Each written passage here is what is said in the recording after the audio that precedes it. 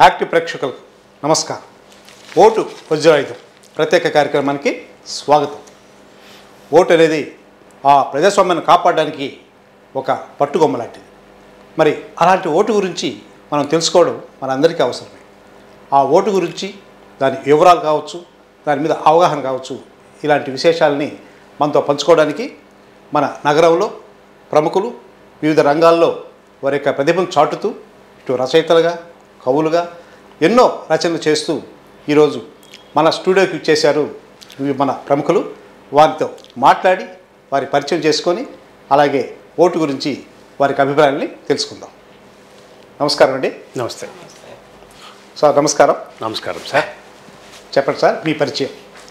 నా పేరు చిన్ని నారాయణరావు. నవ్యాంధ్ర రచయితల సంఘం సీఈఓగా బాధ్యతలు నిర్వహిస్తున్నాను. Okay sir. అది సార్. మరి మనం ఈరోజు ఒక ప్రత్యేకమైన కార్యక్రమం. ఇప్పటికి సంబంధించిన అంటే ఈ సీజన్ ఈ ఎన్నికల సీజన్ మనందరికీ తెలిసిందే. మరి కొన్ని రోజుల్లో మనం ఓటు వేయబోతున్నాం. మరి మీరు మొట్టమొదటి ఓటు ఎప్పుడు వేశారు గుర్తుందా మీకు? ఇరవై ఐదు సంవత్సరాల క్రితం మొట్టమొదటి ఓటు వేశాను సార్. అప్పుడు ఓటుకి చాలా ప్రాధాన్యత ఉండేది. ఇప్పుడు లేదని కాదు. ఇప్పుడు ఓటు విలువ భారీగా పెరిగిపోయింది కానీ అప్పుడు ఓటుకి నిజమైన విలువ ఉండేది. ఎలక్షన్లు జరిగితే కేంద్రం నుంచి ప్రధానమంత్రి అభ్యర్థులు కూడా నెల్లూరుకు ఇచ్చేసినటువంటి సందర్భాలు. ఆ మీటింగ్కి నేను అటెండ్ అయ్యి ప్రతి మీటింగ్ని మేము గమనించిన సందర్భాలు. రిజల్ట్కి ఇక్కడ కలెక్టర్ ఆఫీస్లో అందరూ గుమికూడి ఆ రిజల్ట్ని వినేవాళ్ళం. చాలా సరదాగా ఉండేది. ఒక్కొక్కరు ఒక్కొక్క మాట చెప్తూ ఉంటే. వేసేటప్పుడు కూడా మనం ఇప్పుడు ఈవీఎం లాగా ఒక క్షణంలో అయిపోకుండా కొంచెం క్యూలో నిలబడి ఒక బ్యాలెట్ పేపర్ తీసుకుని నిజమైన అభిప్రాయాన్ని ఫోకస్ చేసేదానికి అవకాశం ఉండేది. ఇప్పుడు ఈవీఎంలు ఏమైనా జరగవచ్చు మనకు తెలియదు ఎలా జరుగుతుందో ఆ టెక్నాలజీని రాజకీయ పార్టీలు వాడుకుంటున్నాయేమో అనిపిస్తుంది. మరి ఆ రోజు మీరు ఓటు వేశారు కదా? అప్పుడు అనుభూతి ఇప్పుడు కూడా అలా అనుభూతి ఉందా మీకు? అంటే అప్పుడైతే ఏదో ఒక ఉత్సాహంగా పద్దెనిమిది ఏళ్ళ వయసులో ఒక ఓటు వేయాలంటే ఎంతో వస్తుంది మరి ఈ వయసులో అదే ఉత్సాహం మీలో కంటిన్యూగా ఉందా?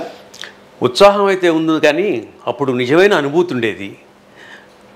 ప్రజాస్వామ్యానికి ప్రతిబింబించేటటువంటి పార్టీల నిలబడి పార్టీలు నిలబడి ఆ ఓటుని అందుకుని మనకు సమృద్ధిగా పనులు చేయగలిగేటటువంటి పరిస్థితి ఉండేది. ఎటువంటి గొప్పవాళ్ళు మన ప్రధానమంత్రులు మొరార్జీ దేశాయ్ జవహర్లాల్ నెహ్రూ ఇందిరాగాంధీ ఇట్లా గొప్ప ప్రధానమంత్రులు ఉండేవారు. ఇప్పుడు కూడా మనకు మంచి ప్రధానమంత్రి ఉన్నారు మోదీ గారు.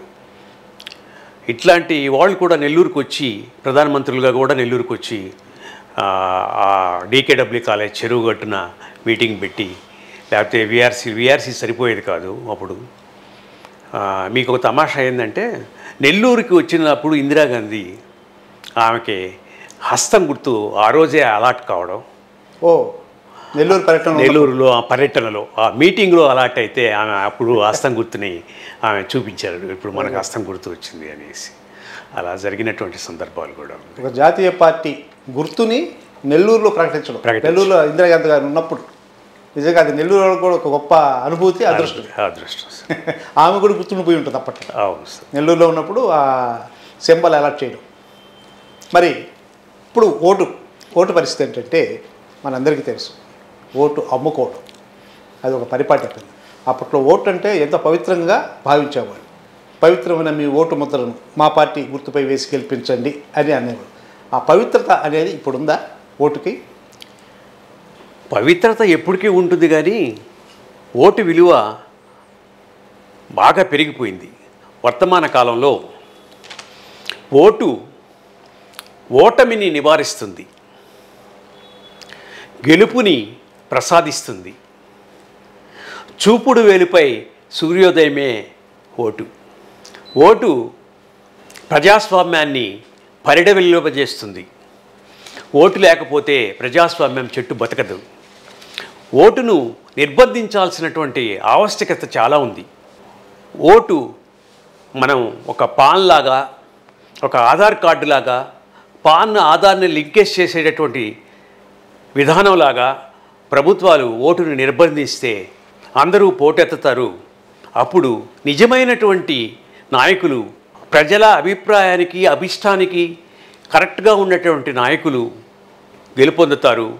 వాళ్ళ పాలన స్పష్టంగా ఉంటుంది సుభిక్షంగా ఉంటుంది.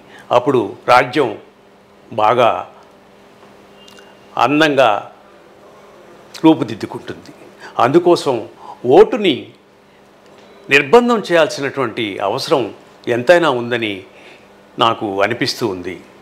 దాన్ని ప్రభుత్వాలు స్వీకరించి ఓటు నిర్బంధం చేయాల్సిన అవసరాన్ని అగత్యాన్ని తీసుకుని మనకు ప్రజాస్వామ్యాన్ని బ్రతికి బట్టకట్టించడానికి ప్రజాస్వామ్యం అంటేనే ఓటు నిర్బంధం చేయడం కాదు కానీ ఓటు వేయకపోతే జరిగేటటువంటి పరిణామాల్ని దృష్టిలో ఉంచుకొని దాన్ని ఓటును నిర్బంధం చేయాల్సిన అవసరం మాత్రం ఉంది. దాన్ని ప్రభుత్వాలు స్వీకరించమని చెప్పేసి ఈ సందర్భంగా నేను ప్రభుత్వాలకి విజ్ఞప్తి చేస్తున్నాను. సరి అయిన అభివృద్ధికి అందరూ ఓటేస్తేనే మనకు నిజమైన ప్రభుత్వాలు ఏర్పడతాయి. ఒక యావరేజ్ మార్కులతో పాస్ అయిన వ్యక్తి కి ఎక్కువ మార్కులతో పాస్ అయిన వ్యక్తికి ఎంత తేడా ఉంటుందో అట్లాగే యావరేజ్ మార్కులతో వచ్చిన ప్రభుత్వాలకి ఎక్కువ మా ఓట్లతో గెలిచిన ప్రభుత్వాలకి అంత తేడా ఉంటుంది. ఓటు చెట్టు బ్రతకాలంటే ప్రతి ఒక్కరూ ఓటేయాల్సిందే. నా నేను ఇక్కడ ఈ సందర్భంగా ఒక కవితను వినిపిస్తాను. ఓటు భరోసా నా కవిత పేరు. ఓటు మన గమ్యం. బాధామయ మృత్యుదారుల్లో ఆక్రోశిస్తున్న విభ్రమంలో పూచిన ఓటు మన గవేషణ. మొక్కలకు ప్రాణవాయువులు అందించి ఫలాల ఫలితాల్ని పొందినట్లు ప్రజాస్వామ్యానికి ఓటు ఆక్సిజన్ ఇచ్చి బ్రతికించుకోవాలి. కాలి కింద భూమి కుంగకుండా కాపాడుకోవాలి. బతుకు భరోసాతో వి- విజేతలమై ఎన్నికల్లో నెగ్గాలి. మార్గదర్శనం లేని మాయాలోకాన్ని మనమే విధ్వంసం చేసుకోవాలి. సూర్యోదయాల్లో మంటల వీవెనలు వీయని ప్రభుతను పాదుకోవాలి. ప్రభాతాలు ఉరితీయబడని మనోజ్ఞ సామ్రాజ్యం కోసం ఓటే మార్గం.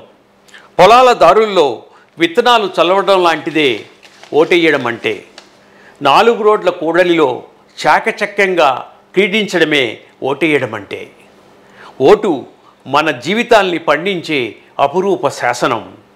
నుదిటి రేఖల్ని మార్చే అరుణారుణ కేతనం.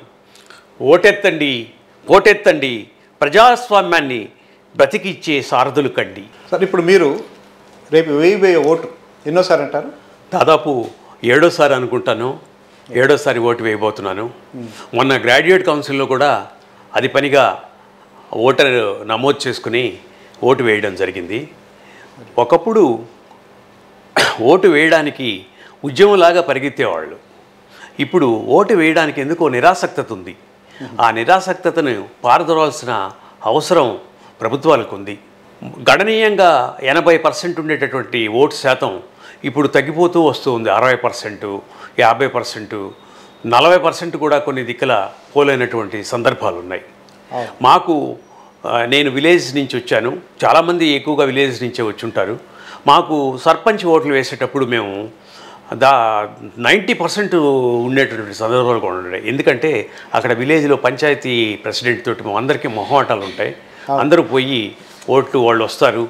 ఓటు ఓటు వేసే ప్రాధాన్యతను అక్కడ నిజంగా తెలుసుకుంటారు కాబట్టి అక్కడ పల్లెటూళ్ళలో ఓటు బాగా వేసేవాళ్ళు. ఇప్పుడు క్యాండిడేట్ ఎవరో మనకు తెలిసినా క్యాండిడేట్ గుణగణాలు తెలిసినా టీవీల్లో సోషల్ మీడియాలో మనకు బాగా వాళ్ళ వాళ్ళ విశేష ప్రాచుర్యాన్ని మనకు అందించినా కూడా ఓటు వేయడానికి విముఖత చూపిస్తున్నారు. ఈ ఈ తడవ నేను అనుకోవడం ఏంటంటే ఓటు వేయడానికి ఎంప్లాయీస్ కానీ అందరూ కూడా ముందుకు వస్తారని ఎక్కువ శాతం పోలవుతుందని అనుకుంటున్నాను నేను. సార్ ఇప్పుడు జనరల్గా ఓటు అనేది మన బాధ్యత మన హక్కు. మరి ఇలాంటి ఓటుకి ఇప్పుడు రాజకీయ నాయకులు డబ్బులు ఇస్తున్నారు మద్యం ఇస్తున్నారు ఎన్నో ప్రలోభాలు పెడుతున్నారు. మరి ఇవన్నీ ప్రభావితాన్ని చేయడం అవుతుందా మన ఓటుని? చేస్తాయి సార్. తప్పకుండా ప్రభావితం చేస్తాయి. ఎందుకంటే ఎడ్యుకేటెడ్ అయితే ప్రభావితం కారని నేను అనుకుంటున్నాను.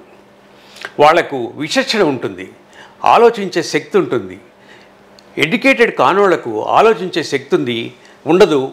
ఎప్పుడైతే శక్తి ఉండదో వాళ్ళు ఇలాంటి ప్రలోభాలను రొగ్గుతారు మనకు ఎవరైనా ఒక పథకం ఇస్తున్నారు ఒక డబ్బులు వేస్తున్నారు డబ్బులు వేయడం అనేది అది ఎంతవరకు సబబు అనేది పెద్ద చర్చ సార్ అది. దాన్ని చర్చించాల్సిన అవసరం కూడా ఉంది. మన డబ్బులు మనకేస్తున్నారు మనం వాళ్ళ జోబిల్లోంచి మనకు వేయడం లేదు. దాన్ని ఆలోచించకుండా మాకు పథకాలు ఇస్తున్నారు మేము ఓటేస్తున్నాం. లేకపోతే మాకు డబ్బులు ఇస్తున్నారు మేము ఓటేస్తున్నాం. నాకు మద్యం ఇస్తున్నారు మేము ఓటేస్తున్నాం అని చెప్పడం చాలా దారుణమైన విషయం. ప్రజాస్వామ్యాన్ని పరిహసించడం మనకు బాధ్యత లేకపోవడం అవుతుంది. మనల్ని మనమే దాన్ని చంపుకోవడం అవుతుంది. Okay sir. Okay thank you thank you sir madam మీ పరిచయం. నా పేరు గోవిందరాజ్ సుభద్రాదేవి. ప్రొఫెషనల్లీ నేను లాయర్ని. తర్వాత బాల్భవన్ డైరెక్టర్గా సుప సుపరిచితురాలని అందరికీ. ఇంకొకటి అంటే ఇప్పుడు పెరసం అధ్యక్షురాలు కూడా పెన్నారాజుల సంఘం నుంచి. అది నా పరిచయం. మరి ఇప్పుడు మన చర్చా కార్యక్రమం తెలిసిందే ఓటు. మరి ప్రజాస్వామ్యంలో ఓటు విలువ అందరికీ తెలుసు. మరి ఓటుని విలువ అంటే ఇంకో రకంగా అనుకుంటున్నారు. ఓటు విలువ అనగానే ఆ విలువకు మారిపోయింది ఇప్పుడు. అప్పట్లో ఆ పరిస్థితి లేదు. అప్పుడు ఓటుని మనందరం వెయ్యాలా అన్న ఒక బాధ్యత ఉండేది. కానీ ఈరోజు మేము ఓటు వెయ్యాలంటే మా అందరికీ ఏదో ఒకటి ఇవ్వాలి అన్న సిస్టమ్కి మనం మారిపోయాం. ఇందులో జనరల్గా రాజకీయ నాయకులు వాళ్ళు ఎప్పుడు మనకంటే ఫాస్ట్గానే ఉంటారు. మీకేం కావాలా? మీకేమి కావాలో చెప్పండి మేము ఇస్తాము అనే విధానంలో ఓటు కొనుగోలు చేసే పరిస్థితిలో ఉన్నారు. మరి ఈ విషయంలో ఓటు కొనుగోలు చేసే పరిస్థితులు వాళ్ళు ఉన్నప్పుడు ఓటు అమ్ముకునే పరిస్థితులు మనం ఉన్నప్పుడు ఇందులో మహిళల యొక్క పాత్ర ఎలా ఉంది? మహిళల పాత్ర అంటే సిటీస్లో మనకి అంతగా మనకి ప్రభావం అలా ఉండదు. అంటే డిఫరెన్స్ ఉండదు. పురుషులకి స్త్రీలకి ఒకటే మనస్తత్వం ఉంటా కొంచెం తేడా ఉంటుంది. కానీ విలేజెస్లో అంటే రూరల్లో మనకి ఆ తేడా కనిపిస్తుంది. ఎక్కువ మనం తేడా రూరల్లోనే మనకి ఓటింగ్ కూడా ఎక్కువ శాతంలో నమోదు అవుతూ ఉంటుంది అది కూడా విచిత్రంగా మహిళలు ఎక్కువ ఉంటారు. ఏ రోజు మన క్యూలో చూసినా కూడా మహిళలు ఉత్సాహంగా ఓటింగ్లో పాల్గొనడం అంటూ జరుగుతోంది. అది మరి రూరల్లో అంత యాక్టివ్గా వాళ్ళ నైరాశ్యం లేకుండా ఉన్నారు అంటే మనం ఆలోచించాల్సిందే. ఎందుకు అనేది మనం ప్రశ్న వేసుకోవాలి అది. అదే. మరి ఇదే మహిళలు ఓటుని ఓటుకి అదే అమ్ముకోవడం అంటాము లేకపోతే డబ్బులు ఆశించడం అంటాము. మొదట్లో ఈ సిస్టమ్ లేనప్పుడు దాన్ని ఎవరో ఒకరు ఎక్కడో స్టార్ట్ చేసి ఉంటారు. ముఖ్యంగా మహిళలకి ముక్కు పుడకలు ఇవ్వడం ఓటుకు చీరలు ఇవ్వడం ఇలా మహిళల్ని అట్రాక్ట్ చేస్తే ఆటోమేటిక్ కూడా ఆ ఫ్యామిలీలో కూడా ఆ ప్రభావం ఉంటుంది. అనే ఉద్దేశంతో మన పొలిటీషియన్స్ అందరూ మహిళలకు ముక్కు పుడకలు ఇచ్చే కానీ స్టార్ట్ చేసి చీరలు కానీ స్టార్ట్ చేశారు. ఇప్పుడు అది ఏ రేంజ్కి వెళ్ళిందంటారు? ఆ రేంజ్ అయితే మనం ఊహించలేము. ఇంకొకటి ఎందుకు ఇలా మొదలైంది అని అంటున్నారు. అది ఎందుకంటే స్త్రీలలో ఏంటంటే ఎక్కువ ఇప్పుడు డబ్బులు తీసుకోవడం కానీ ఒక చీర తీసుకోవడం ఏదైనా కానీ తీసుకుంటే వాళ్ళు ఏం చేస్తారంటే వెయ్యకపోతే వాళ్ళు ఎవరైతే వాళ్ళు తీసుకొచ్చి వాళ్ళకి అందుబాటులో ఉంచారో వాళ్ళకి వెయ్యకపోతే ఒక పాపము అనే ఫీలింగ్ ఒకటి ఉందన్నమాట. ఈ పాపము వీళ్ళు అంటే ఆ దాన్ని క్యాష్ చేసుకుంటున్నారు రాజకీయ నాయకులు. అంటే వీళ్ళు భయపడతారు. మనం తీసుకున్నామే మనం వీడికే వేయాలి ఓటు మనం వేరే వాడికి వేయకూడదు అన్న ఒక కాన్సెప్ట్ని రాజకీయ నాయకులు బాగా క్యాష్ చేసుకుని మహిళల మనస్తత్వాన్ని వాళ్ళు చదివి అలా వాళ్ళని ప్రలోభానికి లొంగ తీసుకుంటున్నారు కానీ యాక్చువల్గా వాళ్ళకి అర్థం కానిది ఏంటంటే నువ్వు వాడు చీర ఇచ్చాడు ముక్కుపొడికి ఇచ్చాడు ఎవరైనా కానీ ఏ రాజకీయ నాయకులన్నా ఇచ్చిన తర్వాత అది పాపం అని నువ్వు భావిస్తున్నావు కదా అసలు ఓటుకి నువ్వు డబ్బులు తీసుకోవడం కూడా పాపమే కదా. ఇది ఎందుకు? అక్కడ మరి నువ్వు అది వాళ్ళకి అవగాహన లేదు అసలు. అది ఉండాలి. నీకు ఉచితంగా రాజ్యాంగం ఇచ్చిన హక్కు ఓటు. నువ్వు వెళ్ళి వెయ్యాలి. దానికి ఏమీ ఆశించాల్సిన అవసరం లేదు.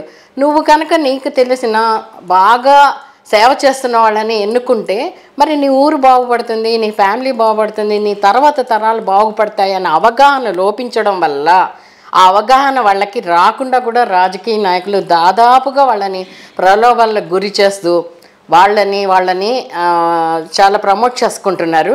ఇది మాత్రం ఈ అవగాహన స్త్రీలలో బాగా రావాలి ఈసారి. ఈసారి అంటే ఈసారి ఈ చలనం బాగా వస్తుంది అనమాట అంటే వాళ్ళకు కూడా తెలుసు వాళ్ళకి ఏం కావాలో తెలుసు. అది ఎలా రాబట్టుకోవాలో ఎవరిని పట్టుకుంటే వాళ్ళకి ఆ పనులు అవుతాయో ఇవన్నీ కూడా వాళ్ళకి అవగాహన వచ్చిన రోజు ఇవన్నీ కొంత కొంత తగ్గడానికి చాలా అవకాశాలు ఉంటాయి. అదేవిధంగా మనకి మహిళలు కూడా పోటీ చేస్తున్నారు. మనకుండే ముప్పై మూడు శాతం కావచ్చు ఇటువంటి కోటాలో వస్తున్నారు జనరల్ సీట్లు కూడా వచ్చి పోటీ చేస్తున్నారు. ఆ పోటీ చేసే మహిళలు కూడా రాజకీయ నాయకులు అయిపోతున్నారు. ఓటర్ కార్డు నుంచి ఓటరు. ది సేమ్ టైము ఇక్కడికి వచ్చేటప్పటికి రాజకీయ నాయకులు అవుతున్నారు. వీరు కూడా అదే మహిళా ఓటర్ని ప్రలోభ పెట్టడానికి ఎంతవరకు వాళ్ళు ప్రభావితం చేస్తున్నారంటారు? అంటే రాజకీయ నాయకులుగా ఎప్పుడైతే పోటీ చేస్తున్నారో ఆ లక్షణాలన్నీ వాళ్ళకి ఆటోమేటిక్గా వస్తే వచ్చిన వాళ్ళనే మరి ఆ సీట్ ఇవ్వడం వాళ్ళకి జరుగుతుంది. కాబట్టి అందులో వాళ్ళు వేరేగా మనం చూడాల్సిన అవసరం లేదు. అంటే ఇక్కడ రాజకీయ నాయకులుగా పోస్ట్ వచ్చేసింది కాబట్టి మహిళల విషయం మర్చిపోతున్నారు. మర్చిపోతారు. అని చెప్తారు కొన్ని కొన్ని చేస్తామని. సమర్థులైన మహిళా నాయకులు కూడా చాలామంది ఉన్నారు. నిజంగా మహిళా నాయకులు కనుక ఒక సేవాభావంతో వచ్చిన వాళ్ళు దాదాపుగా మహిళలకి ఏం చేయాలి? ఎందుకంటే ఆ అవసరాలు వీళ్ళకి బాగా తెలుస్తాయి. కాబట్టి అందరూ అని చెప్పలేం కానీ చేస్తున్నారు. బాగా ముందరకు కూడా వస్తున్నారు. వాగ్దాటి ఎక్కువ ఉంటుంది. చెయ్యాలన్న తపన వాళ్ళకు ఉంటుంది. సమాజాన్ని బాగుపరచాలి అనే తపన ఉంది. మన పిల్లల భవిష్యత్ బాగుండాలి అని కూడా వాళ్ళు చాలా స్ట్రాంగ్గానే తీసుకుంటున్నారు. మరి ఇప్పుడు ఈ మహిళలు ఓటింగ్కి ఎలా వస్తున్నారు? గతంలో ఓటింగ్ రావాలంటే కొంత ఇబ్బంది పడేవాళ్ళేమో. ఇప్పుడుండే ఆ చైతన్యం ఎలా ఉంది మహిళల్లో? మహిళల్లో చైతన్యం మనకి దాదాపుగా మనము అంటే సర్వే ప్రకారం చూస్తుంటే సెన్సస్ ప్రకారం చూస్తుంటే మహిళల్లోనే చైతన్యం సిటీస్లో తక్కువ ఉంది. ఇంకా చెప్పాలంటే చదువుకునే వాళ్ళలో చాలా తక్కువ ఉంది. ఇంకా చెప్పాలంటే ఉద్యోగస్తుల్లో ఇంకా అవేర్నెస్ చాలా తగ్గింది. అది ఎందుకు ఆ నైరాశ్యం ఎందుకు? అంటే ఇది మనది కాదు మనకి సంబంధం లేదు ఈ ఓటింగ్కి.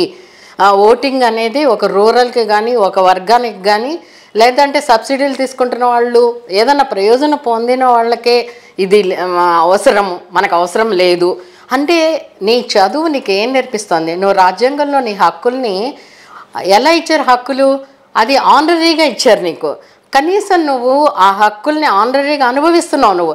Right to education right to ఇంకా అసలు ఎన్ని రైట్స్ ఉండాలో మనకు అన్నీ ఉన్నాయి. రైట్ టు ప్రాపర్టీ ఇవన్నిటికీ భంగం వచ్చినప్పుడు నువ్వు కోర్టు ఆశ్రయిస్తున్నావు. మరి రా నీకు రాజ్యాంగం అసలు రాజ్యాంగం నడవడానికి కీలకమైన ఓటు నువ్వెందుకు నిర్లక్ష్యం చేస్తున్నావు? అందరూ కాదు కానీ ఎక్కువ మంది. మన హైదరాబాద్లో చూసాం లాస్ట్ ఇయర్ సాఫ్ట్వేర్ దాదాపుగా ఓటింగ్కి చాలా దూరం అన్నారు. అది చాలా ఇది ఇది ప్రమాదానికి గురి చేస్తుంది. అంటే అస్తవ్యస్తమైన రాజ్యాంగ రాజకీయ నాయకులు మనకు వస్తున్నారు ఇలా వీళ్ళు చేయడం వల్ల. కానీ వాళ్ళ బాధ్యత అది. నువ్వు అన్ని హక్కులు నువ్వు అనుభవిస్తున్న రోజు మరి నీ డ్యూటీ నువ్వు చేయాలి కదా నీ రెస్పాన్సిబిలిటీ ఉంది. సొసైటీకి నువ్వు కంపల్సరీగా రెస్పాన్సిబుల్ అయి ఉంటావు నువ్వు. ఎందుకంటే నువ్వు అనుభవిస్తున్నావు కదా ఫ్రీడమ్ అనుభవిస్తున్నావు ఆస్తి హక్కు అనుభవిస్తున్నావు స్వేచ్ఛ స్వాతంత్రం ఇన్ మన భారతదేశంలో ఉన్న స్వతంత్రం ఇంకెక్కడా లేదు ప్రపంచంలో ఎక్కడా లేదు. కానీ లేని చోట కూడా ఓటింగ్ డే రోజు అందరూ కూడా ఓటింగ్కి వెళ్తారు వాళ్ళు. వాళ్ళకి ఎవ్వరు చెప్పాల్సిన అవసరం లేదు. ఇంటింటికి వచ్చి నువ్వు ఓటే ఓటే అని చెప్పాల్సిన అవసరం లేదు. ఎందుకంటే వాళ్ళ బాధ్యత. ఇంకొకటి చర్చిల్ చెప్పాడనమాట ఏంటంటే ఎక్కువ శాతం ఓటింగ్కి వెళ్ళినప్పుడు అది మహిళలు కానీ పురుషులు కానీ ఎవరైనా కానీ ఆ రాజ్యాంగం సక్సెస్ఫుల్ రాజ్యాంగం అవుతుంది. అది మన భారతదేశంలో ఒక నైరాశ్యానికి గురైన వాళ్ళు పక్కకు పెట్టేశారు అది. తప్పు ఎవరిదన్నా కానీ ఓటర్ మారాలి. అది ఆడ లేదు మగ లేదు జాతి లేదు మతం లేదు అంబేద్కర్ ఏం చేశారు? అందరికీ ఓటు హాకింగ్ ఎందుకు ఇచ్చారు? మీరు మీ దేశ అభివృద్ధికి మీరే కారణం మీ చేతిలో ఉంది మీ భవిత దాన్ని ఉపయోగించుకోమని చెప్పినప్పుడు మనము చదువుకున్న వాళ్ళం కూడా ఓటింగ్ రాకపోతే అర్థం ఏంటి? మనము మనము అంటే మనం రాజ్యాంగాన్ని మనం గౌరవించట్లేదు. గౌరవించాలి అందరూ ఓటింగ్కి రావాలి. మహిళలు కాదు మరి రూరల్లో వాళ్ళని చూసి నేర్చుకోవాలి. ఇంకొకటి మీరు చూస్తారు ఓటింగ్ రోజు కాళ్ళు కళ్ళు అన్నీ లేని వాళ్ళని కూడా ఎత్తుకుని వచ్చి ninety nine years hundred years వాళ్ళని కూడా వేస్తారు. వాళ్ళు మరి వాళ్ళకి బాధ్యత మరి వాళ్ళకున్న బాధ్యత మనకెందుకు లేదు? వాళ్ళు ఏ జయంత వేస్తున్నారు మనకు అవసరం లేదు. కానీ నలుగురు పట్టుకొచ్చి వాళ్ళని ఎత్తుకుని వచ్చి కార్లలో రిక్షాల్లో తీసుకుని వచ్చి ఓటింగ్ వేస్తారు కదా. మరి వాళ్ళని చూసి మనం నేర్చుకోవాలి కదా. మనము మనము ఓటింగ్కి వచ్చి మనం ఓటింగ్కి అర్హత సంపాదించినప్పటి నుంచి మనం ప్రతి ఓటింగ్లో నువ్వు ఎవరికి వేస్తావనేది తర్వాత సంగతి. నువ్వు రావడం అనేది నీ బాధ్యత. అది మర్చిన రోజు నువ్వు భారత రాజ్యాంగాన్ని అవమానిస్తున్నట్టే. కరెక్టే. ఎందుకంటే మనది ప్రపంచంలోనే అతిపెద్ద ప్రజాస్వామ్య దేశం. అవును. మరి ఇలాంటి ప్రజాస్వామ్యానికి పట్టుకోమనేది ఓటు. ఆ ఓటు ద్వారా మనకి మీరు చెప్పిన హక్కులు ఉన్నాయి బాధ్యతలు ఉన్నాయి. అలాగే మీరు చెప్పినట్టు విలేజెస్ ఓటింగ్లో పాల్గొంటున్నప్పుడు మరి సిటీ పీపుల్ ఎందుకు పాల్గొనట్లేదు? అంటే మీరు చెప్పినట్టుగా ఆ ఓటు అనే విలువ సరిగ్గా తెలుసుకోకపోవడం వల్లే మనం చదువుకున్న వాళ్ళకి ఓటింగ్ వీళ్ళకి తెలియదు కాదు. వీళ్ళు వేరు ఈ వర్గం వేరే అనేది ఒకటి. మనకు అవసరం లేదు అని ఒక నిర్లక్ష్యం అన్నమాట. అరే అదే కదా. ఓటు విలువ తెలియకపోవడం వల్లే కదా. ఓటు విలువ తెలుసుంటే దానికి దీనికి ఇంత విలువ ఉంది తెలుసుంటే ఓటు ఆటోమేటిక్గా వచ్చి వేస్తారు. క్యూలో నుంచోవడము ధనవంతులు పర్టికులర్గా మొహమాటం లేకుండా చెప్పాలంటే ధనవంతులు బాగా చదువుకున్న వాళ్ళు ఒక రేంజ్లో ఉండేవాళ్ళు అసలు రావడం లేదు. మీకు చాలా దగ్గర దగ్గర దగ్గర పోలింగ్ స్టేషన్లు ఉంటాయి. మీరు చుట్టాలతో మాట్లాడడానికి టీవీలు చూడడానికి తర్వాత మీరు వారం అంతా కూడా పెండింగ్ ఉన్న పనులకి సెలవు ఇచ్చింది కాదు ఓటర్స్ డే రోజు. నువ్వు ఆఫీస్లో మొత్తం పని అంతా ఆగిపోయింది అన్ని ఆఫీసుల్లో. ఇంకా దీనికి ఒక మార్గం ఏంటంటే ప్రతి ఆఫీస్లో కూడా ఓటింగ్ పెట్టేసేస్తే పనితో పాటు ముందర ఓటింగ్ వేసి నువ్వు డ్యూటీకి రా. టీచర్లకైనా ఇంకొకరికైనా ఇంకొకరికైనా అలాంటి మనము పర్యాయంగా వీళ్ళకి ఆలోచించాలి. మీరు సెలవు ఇచ్చినప్పుడు ఫస్ట్ నువ్వు ఓటింగ్ వేసి నువ్వు ఏమైనా చేసుకో.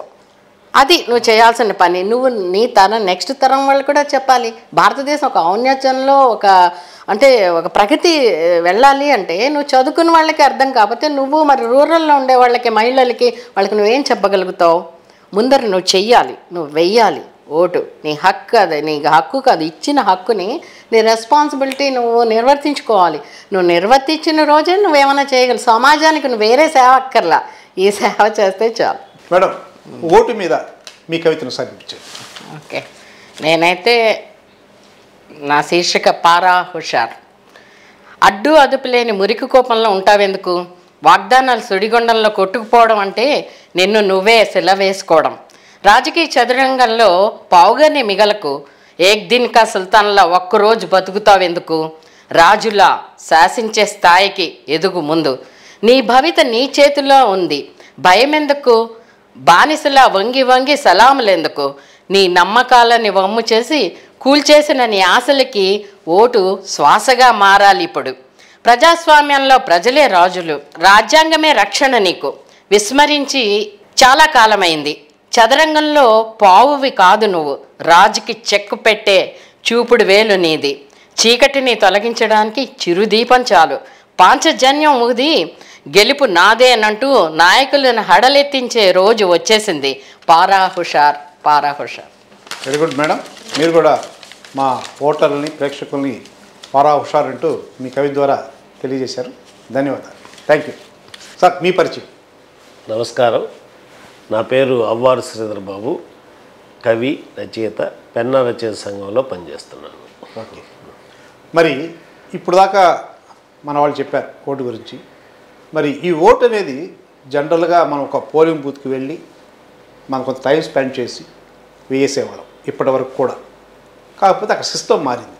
అప్పట్లో పేపర్ బ్యాలెట్ పేపరు ఇప్పుడు ఈవీఎంస్ ఇదే విధంగా టెక్నాలజీని ఉపయోగించుకొని అది కూడా ఆన్లైన్ ఓటింగ్ చేస్తే ఎలా ఉంటుందంటారు? మంచిది. మీరు చెప్పింది ఆలోచించదగిన విషయం. యాక్చువల్గా ఈ రాజ్యాంగంలో త్రీ ట్వంటీ సిక్స్ ప్రకారం ఆర్టికల్ త్రీ ట్వంటీ సిక్స్ ప్రకారం మనకు ఓటు హక్కు లభించింది. ఈ ఓటు హక్కుని ప్రతి ఒక్కరూ వినియోగించుకోవాల్సిన అవసరం ఉంది. అయితే ప్రతి దాంట్లో టెక్నాలజీ మారుతుంది. అప్పుడులో ఓటుని గురించి గోడల మీద రాసేవాళ్ళు ఓటు ప్రచారం. అది పోయి ఇప్పుడు ఆన్లైన్ ప్రచారం కూడా వచ్చింది. అట్లాగే ఓటు విధానం బ్యాలెట్ పేపర్ నుంచి ఈవీఎంకి మారింది. ఈవీఎం నుంచి ఆన్లైన్ కూడా మారచ్చు. ఇప్పుడు ప్రతి ఒక్కటి ఆన్లైన్ సిస్టమ్గా వస్తున్నాయి. డబ్బులు పే చేయటం కానీ ఏ వ్యవహారాలైనా ఆన్లైన్ అవుతున్నాయి. అలాగా టెక్నాలజీ పెరిగే కొద్దీ సులభతరం కూడా ప్రతి దాంట్లో సులభతరం వస్తుంది కాబట్టి ఈ ఓటులో కూడా సులభతరం వచ్చిందంటే అదేమంత అంత పెద్ద కష్టమైన విషయమేం కాదు. ప్రభుత్వాలు ఆలోచించి దాంట్లో కూడా ఒక టెక్నాలజీని తీసుకొచ్చి దాంట్లో కూడా సీక్రసీ మెయింటైన్ చేయొచ్చు. దీంట్లో ఎలా ఉందో దీని రాజ్యాంగబద్ధంగా ఎలా ఓటేయాలనే విషయాలు దీంట్లో ఉన్నాయో అదే విధాన్ని విధానాన్ని ఆన్లైన్లో కూడా వీళ్ళు కొన్ని పరిస్థితుల్ని క్రియేట్ చేసి కొన్ని టెక్నాలజీని దాంట్లో ఇంప్లిమెంట్ చేసి ఇలా కూడా మార్చొచ్చు. భవిష్యత్తులో ఏమన్నా రా రావచ్చేమో తెలియదు ఇలాంటి వ్యవహారాలు. వస్తే మాత్రం ఎక్కువ శాతం ఓటు వినియోగించబడుతుంది. ఎందుకంటే ఇప్పుడు మీరు ఇందాక చెప్పినట్టు మనకు సిక్స్టీ పర్సెంట్ ఓటు జరుగుతుంది. సిక్స్టీ పర్సెంట్ జరిగితే చాలా ఎక్కువ జరిగినట్టు అని ప్రతి ఒక్కరూ భావిస్తున్నారు. కానీ అలా ఉండకూడదు. యాక్చువల్గా కేంద్ర ప్రభుత్వం ఏం చేసింది? జనవరి ఇరవై ఐదో తేదీ ప్రతి ఒక్కరికి ఓటు హక్కుని వినియోగించుకోవటం ఎలా? ఓటు హక్కు దినంగా దాన్ని పెట్టారు. Voter day. ఓటర్ డే పెట్టారు. ఆ ఓటర్ డే పెట్టినప్పుడు దాని మీద అవగాహన కలగడానికి ఆ విధంగా పెట్టారు. అంటే ప్రతి ఒక్కరు ఓటేయాలి అసలు యాక్చువల్గా ఓటేయటం అంటే ఎవరినో గెలిపించడం కాదు. నిన్ను నువ్వు గెలిపించుకోవడం. నిన్ను నువ్వు గెలిపించుకోవడం. ఎవరినో నువ్వు గెలవటం కాదు కదా. ఇప్పుడు ఒక రోజు నువ్వు ఓటేయలేదంటే ఐదు సంవత్సరాలు నువ్వు దాన్ని అనుభవించాలి నువ్వు. ఆ బాధని అనుభవించాలి. నేను ఎందుకు ఓటేయలేదు నా నేను నేను ఎన్నుకోవాల్సిన వ్యక్తి అక్కడ రాలేదు నిలబడలేదు వచ్చి అధికారంలోకి రాలేదనే బాధ నువ్వు ఐదు సంవత్సరాలు భరించాల్సిన అవసరం ఉంది కదా. సో కాబట్టి ఖచ్చితంగా అందరూ ఓటేయాలి. రెండోది సులభతరం గురించి ప్రభుత్వాలు కూడా ఆలోచించాలి. మీరు అన్నట్టు మన ప్రతి దాంట్లో సీక్రసీ మెయింటైన్ చేస్తున్నాం. ఫోన్పే చేస్తున్నాం. ఓడు. పాస్వర్డ్ ఉంటేనే చేయగలం. అవును. అది ఎవరికి తెలిసింది అనుకుంటే అటుకుని అందరూ చేయిస్తారు.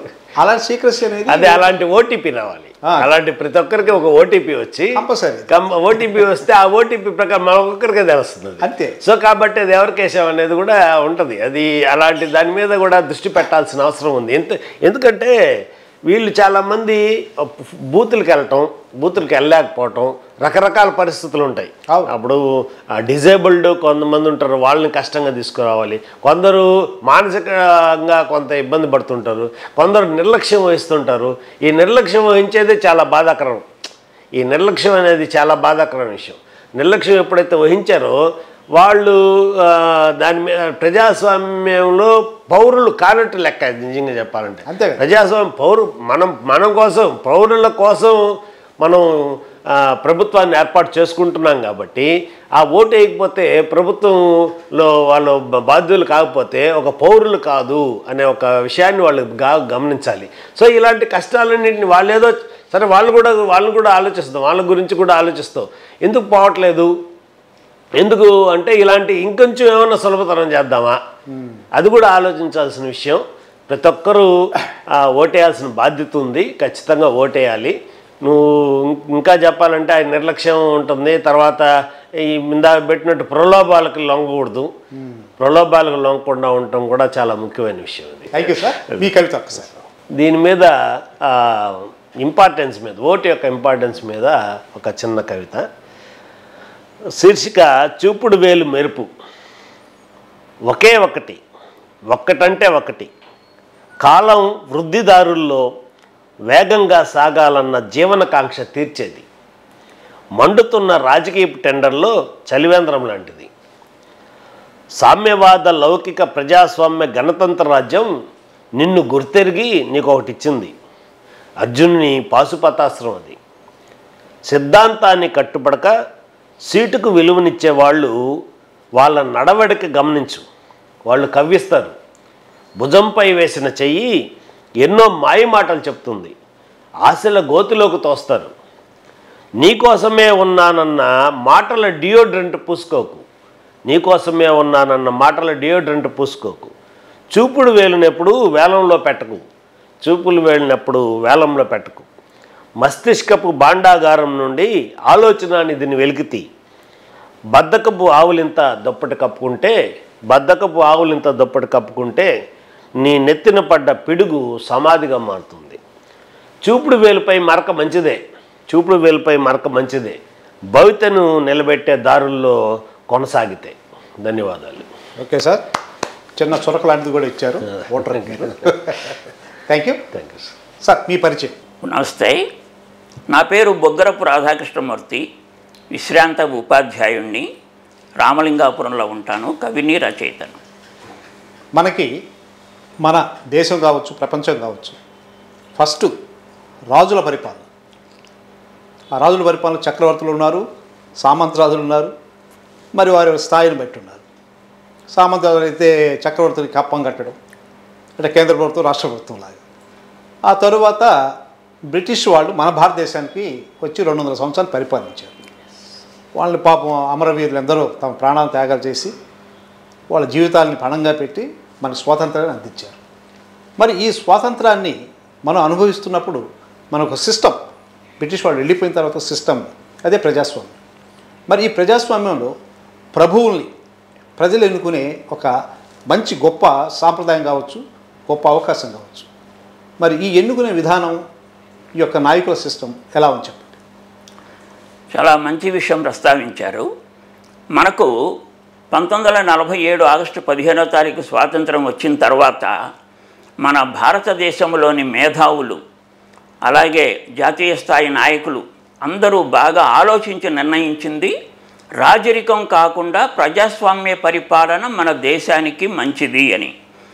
ఆ కారణంగా ప్రజాస్వామ్యంలో ప్రజలే ప్రభువులు.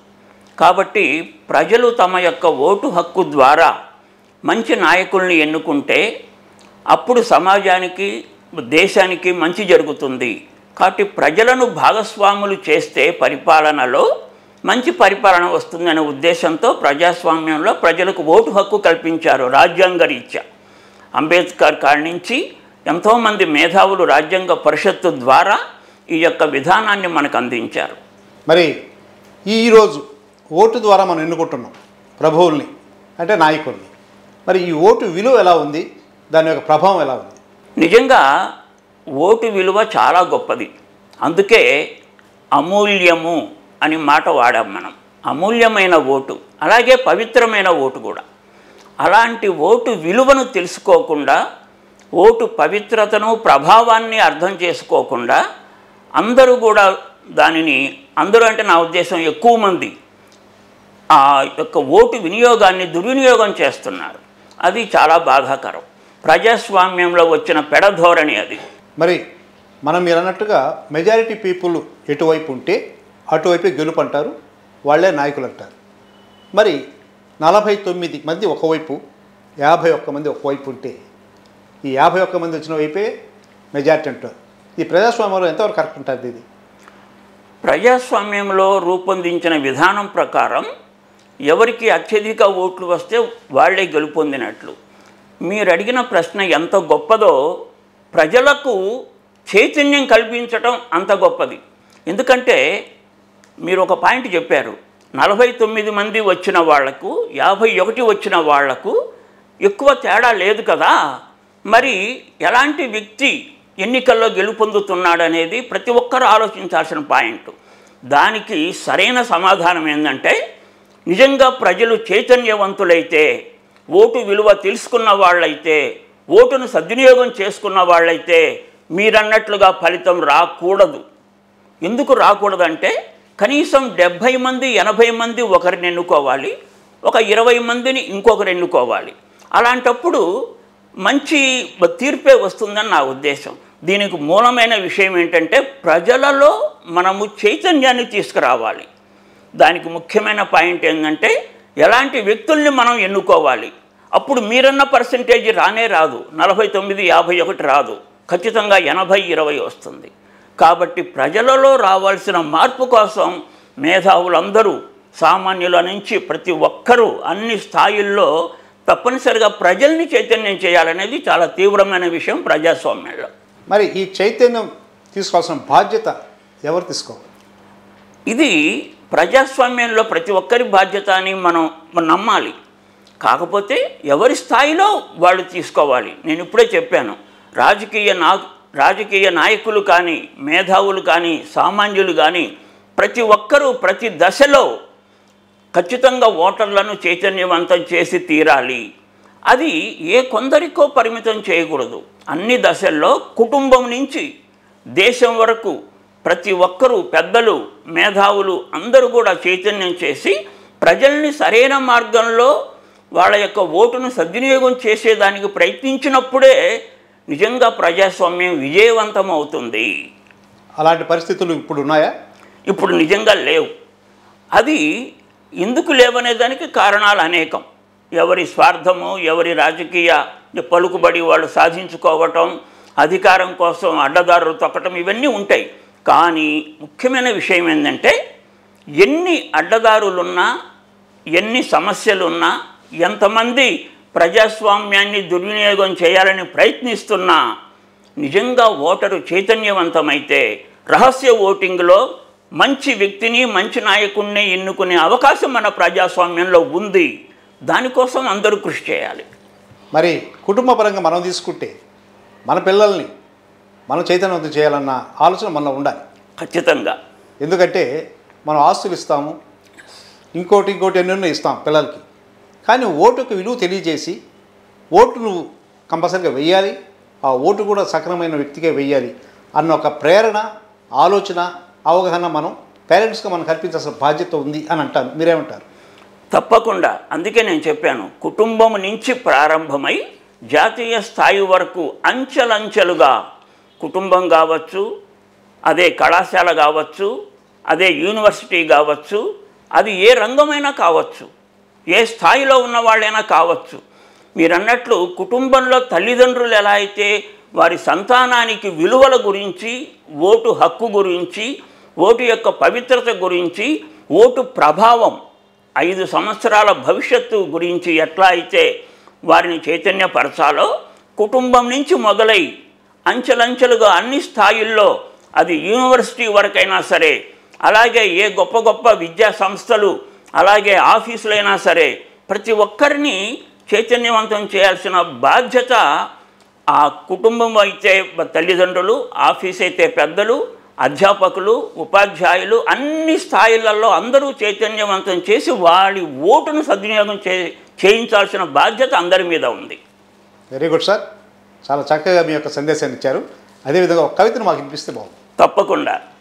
ఐదేళ్ళ భవిష్యత్తుకై ఏ ఇజాలతోనూ పొందలేని సోషలిజాన్ని నైతిక విలువలున్న నాయకులకు మనం నీతిగా ఓటేసి గెలిపించి సాధించుకోవచ్చు. భోగ భాగ్యాలతో తొలుతూగే వాళ్ళకన్నా శీల సంపద గల సాదా సీదా వ్యక్తికే ఓటు ద్వారా పట్టం కట్టి నిలబెట్టుదాం. కులమతాలకు ఊతమివ్వక దేశాన్ని ధర్మాన్ని రక్షించే వాళ్ళకే ఓటు వేయాలని ప్రతిజ్ఞ పూనుదాం. ముష్టి వేలకు మత్తు మందుకు లొంగక దుష్ట బుద్ధులకు ఓటేసి నష్టపోక ఇష్టపడి ప్రజా సేవకుల్ని గెలిపిద్దాం. ప్రగల్భాలు ఆర్భాటాలు నమ్మకుండా దుర్భాషలు దుర్నీతులు గమనిస్తూ సద్భావమూర్తులకే ఓటు వేసేద్దాం. ఎన్నికల్లో మన ఓట్ల కోసమే యాచిస్తారు. గెలిచాక మనల్ని యాచకులుగా చూస్తారు. చేతులు కాలాక ఆకులు పట్టుకోకండి. చేతలు తూకం వేసి వాతలు పెట్టండి. ఓటరులారా తస్మాత్ జాగ్రత్త. పవిత్రమైన ఓటంటే సౌభాగ్యాన్ని సాధించుకునే సాధనం. దుర్మార్గుల్ని దండించగల ఆయుధం. చేతులారా రూపొందించే భావి చిత్రం. ఐదేళ్ళ భవిష్యత్తు తాకట్టు పెట్టకుండా గత అనుభవాలను విస్మరించకుండా కుళ్ళు కుతంత్రాల వాళ్ళను ఇంటికి పంపేద్దాం. కల్లా కపటం లేనోళ్ళకే జయగంటం రోగిద్దాం. ధన్యవాదాలు. థ్యాంక్ యూ సార్ చాలా చక్కటి సందేశం ఇచ్చారు మీ కవి ద్వారా. థ్యాంక్ యూ ధన్యవాదాలు. చెప్పండి సార్ మీ పరిచయం. సార్ నమస్కారం సార్ నా పేరు జగన్నాథం రామ్మోహన్ ఉపాధ్యాయుని కవి మరియు రచయిత. మరి ఇప్పుడు దాకా మనం మన పెద్దలందరూ చెప్పారు ఓటు గురించి. మరి ఈ ఓటు శాతం పెంచాలని మనం అనుకుంటున్నాం. ఈ ఓటు శాతం పెంచాలంటే ఏం చేయాలి? సార్ నాకు తెలిసి ఇప్పుడు నేను ఒక సిక్స్త్ ఆర్ సెవెంత్ టైం ఓటేస్తున్నాను సార్ అన్నీ కలుపుకొని. నేను ఒక పల్లెటూరు వాతావరణం చూసిన వచ్చిన వ్యక్తిని. గతంలో మా మా ఊర్లో ప్రచారం జరుగుతుండేది. అంటే పార్టీలు ఒక పక్క చేస్తున్నప్పటికీ కూడా కొన్ని ప్రజా సంఘాలు కూడా దానికి వాళ్ళ ఓటర్ చైతన్యం కోసం చేసేవి ఎలా చేసేవి అంటే ఎందుకు చెప్తున్నానంటే సాయంత్రం పూట ఒక రచ్చబండ పైన ఒక ప్రజలను చైతన్యపరిచే ఒక గీతాల రూపంలో కానీ ఆ ఓటు ఎందుకు వేయాలని విలువ తెలియజేసేటటువంటి కొన్ని స్కిట్స్ కానీ వేసేవి. ఇప్పుడు కూడా మనకి సోషల్ మీడియాలో వస్తున్నాయి. కానీ అది ఫోన్ దాకా వస్తున్నాయి తప్ప మనసు దాకా చేరట్లేదు. ఎందుకంటే ప్రత్యక్షంగా అనుభూతి పొందలేకపోతున్నాం. గతంలో అయితే రచ్చబండ పైన ఒక నాటకం వేసినా కానీ ఒక పాట పాడినా కానీ ఒక మనసులో లోతుల్లోకి వెళ్ళేది. సో ఖచ్చితంగా మనం ఓటు వేయాలి. ఒక మంచి వ్యక్తి ఓటు వేయాలని ఒక దృఢ సంకల్పం అనేది ప్రతి ఒక్కరిలో ఒక చైతన్యంగా ఉండేది. ఇప్పుడు కూడా మనం ఫోన్ ఆన్ చేస్తేనే రకరకాల యాడ్స్ ఈ ఓటర్ చైతన్యపరిచే కార్యక్రమాలు వస్తున్నాయి. కానీ అది మనసు దాకా రీచ్ అవ్వట్లేదు. ఏదో ఒక చిన్న ప్రోగ్రామ్ లాగా మనం స్కిప్ చేసి ముందుకు వెళ్ళిపోతున్నాం. సో ఇట్లాంటి అంటే కొన్ని ప్రజా సంఘాలు కానీ కొన్ని రాజకీయ పార్టీలు కానీ ప్రజలను చైతన్యపరిచే విధంగా కొన్ని స్కిట్లు కొన్ని నాటకాలు ప్రత్యక్షంగా ఉండేటట్టు చేస్తే మరింత ఓటింగ్ సరళ పెరుగుతుందని వాళ్ళ మనసు తాకుతుందని వాళ్ళ బాధ్యత గుర్తెరుగుతుందని నా అభిప్రాయం సార్. మీరు అన్నట్లుగా కళారూపాలు కావాలి. అవును సార్. పల్లెటూరుకి వెళ్ళడం అవును. ఓటు గురించి అది ఒక నాటికల రూపం కావచ్చు కవితల రూపం కావచ్చు పాట రూపం కావచ్చు అది గతంలో ఉండేది. అవును. కానీ ఇప్పుడు తగ్గాయి అంటున్నారు. అవును సార్. తగ్గాయంటే మనుషులు మారారు కదా. Cell phone. మీరు చెప్పే ఆ పల్లెటూళ్ళలోనే అంతమంది రచ్చల మీద వచ్చి కూర్చునేవాళ్ళు అవును. ఈరోజు ఇంట్లోనే కూర్చొని ఆ సెల్ ఫోన్ చూసుకుంటున్నారు. చూసుకుంటున్నారు.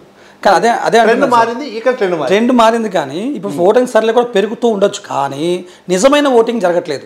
నిజమైన ఓటింగ్ ఎందుకు జరగట్లేదు అంటే మనసుకి హత్తుకోలేదు కాబట్టి మనసు దగ్గర మనసులోకి చేరట్లేదు కాబట్టి ప్రత్యక్షంగా అనుభూతి పొందట్లేదు కాబట్టి నిజమైన ఓటింగ్ అనేది జరగట్లేదని నా అభిప్రాయం సార్.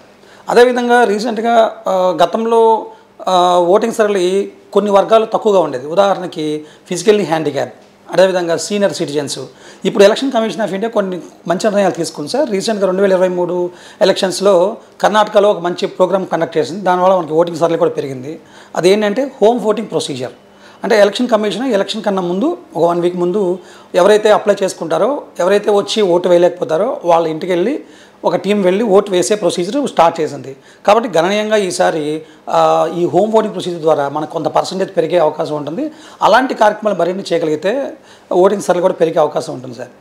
అదే క్రమంలో ఓటు ఎవరి అంటే ఓటు వేయడం ముఖ్యం ఓటు వేయడమే ముఖ్యం కాదు. ఎలాంటి వ్యక్తికి ఓటు వేస్తున్నాం అనేది కూడా మనం పరిగణలో తీసుకోవాలి. అంటే ఓటు చైతన్యమే అంటే ఓటు వేయాలి. ఎలక్షన్ కమిషన్ ఏం చెప్పిందంటే no voter to be left behind అని చెప్పింది. అంటే నమోదు చేసుకున్న ఏ ఓటర్ కూడా ఓటు వేయకుండా ఉండకూడదు అనేది ఒక పాయింట్ చెప్పింది. అదేవిధంగా వేసిన ప్రతి ఓటు కూడా ఒక మంచి వ్యక్తికి వెళ్ళే విధంగా ఉంటే మన దేశ భవిష్యత్తు బాగుంటుంది అనేది నా అభిప్రాయం సార్. అలా అలా ఉండాలి అంటే ప్రతి ఒక్కరూ ఇలా ఆలోచించగలగాలి. సార్ ఇప్పుడు మీరు చెప్పినట్టుగా ఓటరు ఓటు వేయడానికి కొన్ని అవగాహన కార్యక్రమాలు కల్పించుకున్నారు. అదేవిధంగా ఇప్పుడు ఎప్పుడో పద్దెనిమిది ఏళ్ళ వయసు వచ్చిన తర్వాత ఓటు వేసేది అప్పుడు అవగాహన కంటే కూడా చిన్నప్పటి నుంచి ఒక ఐదో తరగతి క్లాస్ నుంచి మనకి పిల్లలకి ఆ పాఠ్యాంశాల్లో ఒక చిన్న సబ్జెక్టుగా పెట్టి ఆ సబ్జెక్ట్ని పిల్లలకు బోధించి ఓటు అంటే ఏంటి ప్రజాస్వామ్యం అంటే ఏంటి ఓటుకి విలువ ఏంటి ఇలాంటి పాఠ్యాంశాలు ఏర్పరిస్తే ఎలా ఉంటుందంటారు? చాలా చక్కని ప్రశ్న అడిగారు సార్. ఇప్పుడు ప్రస్తుతం మనకి ఐదో క్లాస్ నుంచి కానీ ఆరో క్లాస్ నుంచి కానీ ఈ పార్లమెంట్ కానీ ఎలక్షన్ ప్రొసీజర్ గురించి కొంత అయితే ఉంది. అదేవిధంగా చాలా పాఠశాలల్లో ఈ మాక్ పార్లమెంట్ గురించి పార్లమెంట్ ఎలా ఉంటుంది వాళ్ళు ఎలా ఎలా ఎన్నుకుంటాము అదేవిధంగా పార్లమెంట్లో ఉన్నటువంటి అధ్యక్షుడు ఎలా ఉంటారు మంత్రిమండలి ఎలా ఉంటుంది ఆ ఎలాంటి ప్రశ్నలు అడుగుతారనే అనే విషయాన్ని మనకి పా పాఠశా పాఠశాలలో స్థాయిలో పాఠ్యాంశాల్లో ఉంది సార్. అదేవిధంగా ఓటింగ్ సంబంధించి కూడా మనకి పాఠశ పాఠాల్లో మిళితం చేసి పిల్లల్ని ఫిఫ్త్ నుంచి సిక్స్త్ నుంచి స్థాయి నుంచి కూడా ఎందుకంటే సిక్స్త్ క్లాస్ అనగా మనకి ఆలోచించే సరళి పెరుగుతుంది కనుక ఆరో క్లాస్ నుంచే ఈ ఓటింగ్ పరమైన సరైన అవగాహన కల్పించగలిగితే రాబోయే భవిష్యత్తులో ఈ పిల్లలే రేపటి పౌరులు అవుతారు కనుక ఒక మంచి ప్రభుత్వాన్ని కానీ ఒక మంచి నాయకుని కానీ ఎన్నుకునే ఒక సువర్ణ అవకాశాన్ని పిల్లలకు అందించినట్లు అవుతుంది. దానిలో కూడా మనం అందరం భాగస్వామ్యం అయ్యి పాఠ పాఠ్యాంశ స్థాయిలో కూడా మనం ఇంక్లూడ్ చేస్తే బాగుంటుంది సార్. విద్యార్థి దశ నుంచే విద్యార్థి దశ నుంచే మనం అలాంటి అలవాటు చేయగలిగితే బాగుంటుందని నా అభిప్రాయం సార్. Very good. ఒక కవిత మీరు వినిపించండి. ఇప్పుడున్నటువంటి ప్రస్తు పరిస్థితులు ఉన్నటువంటి దానికి సంబంధించి ఒక చిన్న కవిత రూపంలో మీకు తెలియజేస్తాను. కవిత శీర్షిక చూపుడు వేలు. కమ్మని పొడవైన మెతుకులు ఆకలి ఆశల దోసెట్లో వెదజల్లబడుతున్నాయి అజెండా లేని రంగురంగుల గుడ్డ పేలికలు భుజాలపై మెరుస్తుంటాయి. ఉచిత వాగ్దానాల ఛాయలో ఉపశమన భ్రమ కలుగుతుంది. వందకో మందుకో ఆశపడితే రేపటికి దోషివే నిలబడతావు. కాస్త ఆదమరిస్తే సబ్సిడీ బ్రతుకులు హోల్సేల్గా అమ్మబడతాయి. బ్రతికుండగానే వాంగ్మూలం రికార్డ్ అయ్యి శ్రద్ధాంజలి ఘటించబడుతుంది. విచక్షణ లేకుండా కులానికో మతానికో పాత చేస్తే భవిష్యత్తు భవిష్యత్తు గొడ్డలి కథగా మారిపోతుంది. బ్రతుకు గిన్నెలను నిత్యం బువ్వపూలు పూచే ప్రణాళికేదో నిత్యం బువ్వపూలు పూచే ప్రణాళికేదో పొదగాలి. మనసుల్ని ఆలింగనం చేసే చెట్టేదో తెలుసుకోవాలి నువ్వు. చిటికిన వేలు బాధ్యత చిటికిన వేలు బాధ్యత చూపుడు వేలు తీసుకోవాలి ఇప్పుడు. అది ఒట్టి సిరాచుక కాదు. అది ఒట్టి చిరాచుక కాదు. సుదర్శన చక్రమై అవినీతి అంధకారం తురుముకుంటూ వెలుగుపూలు పూయిస్తుంది. చెయ్యాల్సిందల్లా ఇప్పుడు నువ్వు చేయాల్సిందల్లా హక్కును తెలుసుకొని బాధ్యతగా మెలగడమే. ధన్యవాదాలు. Okay sir. చాలా చక్కగా మీ కవితను వినిపించారు. థ్యాంక్ యూ థ్యాంక్ యూ అనమాట ఇదండి ఈనాటి ఓటు వజ్రాయుధం అనే ప్రత్యేక కార్యక్రమం. మరో ప్రత్యేక కార్యక్రమంలో మరో ప్రత్యేక అంశంతో మీ ముందుంటాను. అంతవరకు సెలవు నమస్కారం. మీ సింగం శెట్టి మురళీమోహన్ రావు.